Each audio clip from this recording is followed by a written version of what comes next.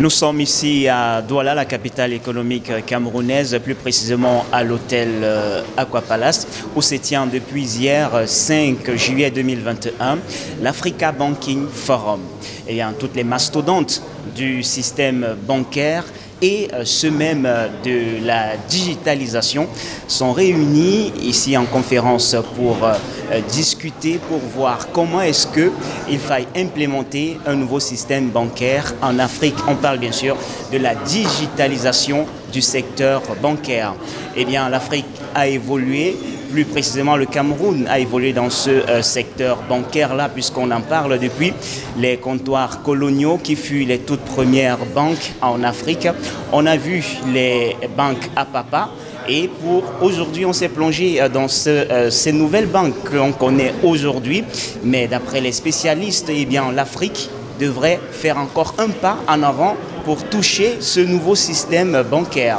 Eh bien, si en Afrique ça sonne comme étant une révolution, on tient à rappeler que cela existe déjà depuis dans les pays euh, développés. Raison pour laquelle ce forum, d'ailleurs Africa Banking Forum, a donc lieu ici même pour discuter, pour voir comment implémenter ce nouveau système bancaire au Cameroun et puis dans toute l'Afrique entière. Mais quand on parle de la digitalisation du système bancaire, de quoi est-ce qu'on parle exactement? À quoi est-ce qu'il faudrait donc s'y attendre? Et pour cela, nous sommes avec euh, notre ami, le chairman même de cette conférence.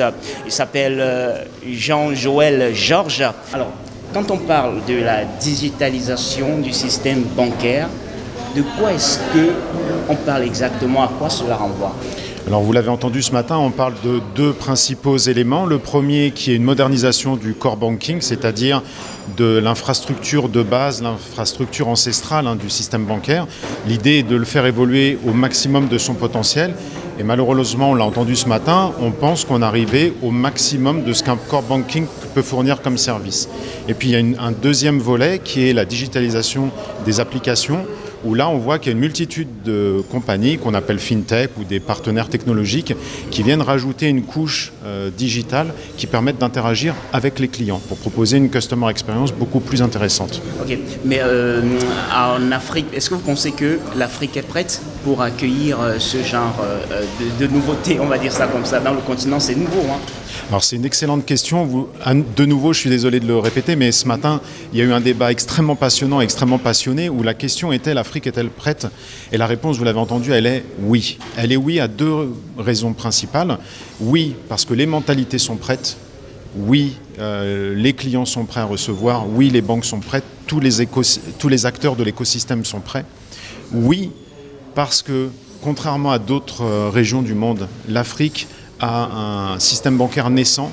Et donc il est beaucoup plus facile de faire évoluer ce système bancaire vers un système moderne plutôt que de rebâtir sur quelque chose qui aurait évolué Il faut dire quand même que euh, l'Afrique, ce n'est pas l'Europe, l'Afrique, ce n'est pas l'Amérique. Il y a beaucoup de difficultés dans le continent noir. Est-ce que vous êtes confronté, vous avez euh, réfléchi sur les difficultés? Alors c'était mon deuxième point. Donc oui, l'Afrique est prête pour les deux raisons que je viens de mentionner. Mais oui, l'Afrique a aussi beaucoup euh, d'objectifs, hein, beaucoup de choses encore à faire. On a parlé de la régulation. On sait que les banques avancent plus rapidement finalement que le régulateur. Et donc le régulateur met du temps à, faire évoluer les choses et un système bancaire digital.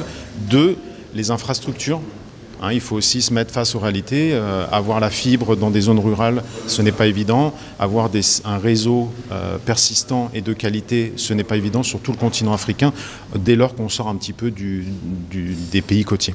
Euh, mais à côté de cela, il faut également rappeler que les banquiers, cela va profiter beaucoup aux banques ainsi qu'aux populations, c'est vrai, avec des partenaires. Ça fonctionne comme ça, les banques fonctionnent avec des partenaires. Vous les accompagner dans ce processus-là Alors tout à fait, là, vous avez parlé des clients, c'est vrai que c'est le point le plus important.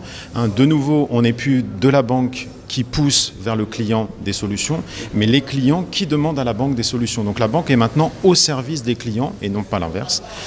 Deuxièmement, euh, les banques sont obligées de faire évoluer leur système. Concrètement, vous savez, on va prendre le cas du Cameroun. Nous sommes au Cameroun.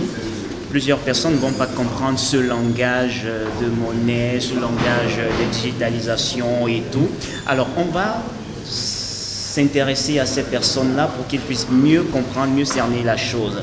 Est-ce que la digitalisation signifie, par exemple dans le cas du Cameroun, que pour le Camerounais qui est installé à Fondio-Montouet, dans un fin fond village quelque part là-bas, ou alors celui qui est à Kousseri ou euh, du côté de Beaumont là-bas, pourrait également bénéficier de ce nouveau système C'est la banque qui s'amène vers eux, c'est ça la digitalisation Vous venez exactement de pointer le bénéfice du digital. Même s'il reste encore beaucoup de choses à faire, le principe du digital est de pouvoir toucher tous les clients où qu'ils soient.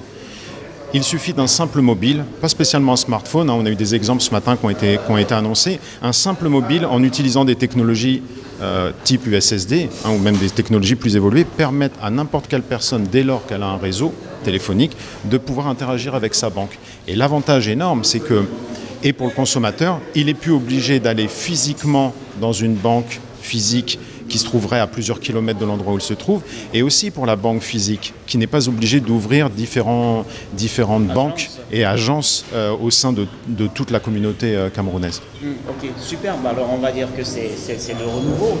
Donc tout le monde maintenant, que l'on soit commerçant, que l'on soit euh, ben skinner, que l'on soit taximan, que l'on soit même banquier, que l'on soit journaliste ou que l'on soit la banque. On aura plus ces grands édifices qui représentent les banques. Alors tout à fait. Et puis je pense que c'est une urgence pour les banques. Il faut dire la vérité. On l'a mentionné plus tôt hier. Il y a des gros players qui sont rentrés dans le système. Hein, on a parlé des GAFAM. On a parlé des gens, des gens euh, très puissants, des techs très puissantes qui sont ici dans le système bancaire et qui sont en train de proposer des solutions technologiques, mais aussi d'avoir un appétit pour prendre le métier de banquier. Hein, on parle aussi des, des telco opérateurs euh, tels euh, Orange par exemple.